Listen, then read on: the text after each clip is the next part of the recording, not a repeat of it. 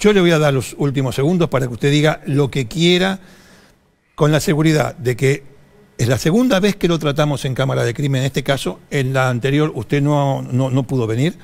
Eh, lo vamos a seguir, lo vamos a seguir. Eh, y bueno, le reitero eso, vamos a estar atentos a, lo que pase. Para mí está, bueno, ahora lo voy a ver con más detalle después del programa esta cuestión, pero por lo que pude ver, tres contra uno provocan esto. Es un, es un desastre esto. Es un, es, un, daño muy grande. Es por lo cual vine aquí. Eh, para que usted lo viera, doctor. dígame, dígame, diga lo que quiera decir para cerrar. Eh, pasé también a hablar con el doctor Burlando, que quiero darle las gracias, al doctor Fernando, porque me dieron una entrevista a ellos. Porque no sé más qué hacer. Si no hay pruebas suficientes para procesar al tercero. Es la respuesta que me dieron. Yo pidiendo justicia por mi hijo, salir de componerme. ¿Usted confía en su abogada actual? La de hoy sí. Bueno, entonces, entonces escúcheme una la que me pide. Entonces, esto que me acaba, acaba de decir usted, lo tienen que hablar con ella. Lo tienen que hablar con ella. Esto no significa, no, a ver, ¿qué me está diciendo? Usted sale del tema. nosotros somos, periodistas. Lo, que yo quiero decirle es, esas dudas que usted tiene, ¿por qué no está preso este Alejo? ¿Por qué? Bueno, esa, la respuesta, bueno, hay un solo testigo, por ahí al, juez, al fiscal le pareció que es poco, lo que sea, pero lo tiene que hablar con su abogada.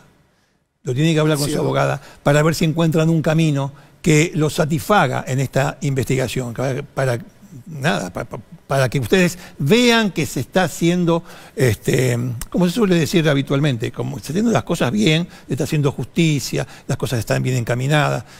Por su actitud aquí, por su emoción acá, veo que usted no está conforme.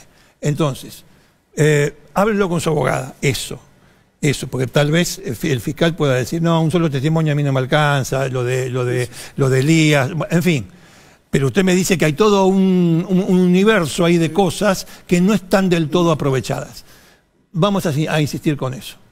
Mario, yo le agradezco mucho que haya venido acá. Es verdad, usted me llamó por teléfono. Yo este, contento de que usted venga y pueda, contento en este sentido, de que eh, pueda expresar lo que usted siente. Para nosotros es muy importante, más allá del resultado de la causa judicial. Pero hay un aspecto que nunca se tuvo en cuenta y es el de la víctima cuando sobrevive o de los familiares o, allegados de la víctima cuando ésta fallece.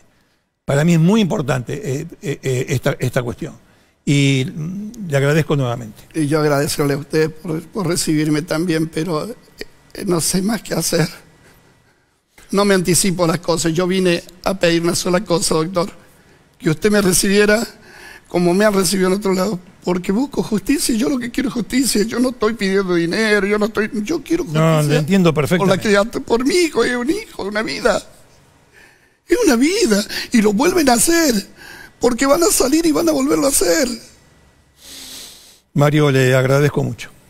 Gracias. agradezco mucho.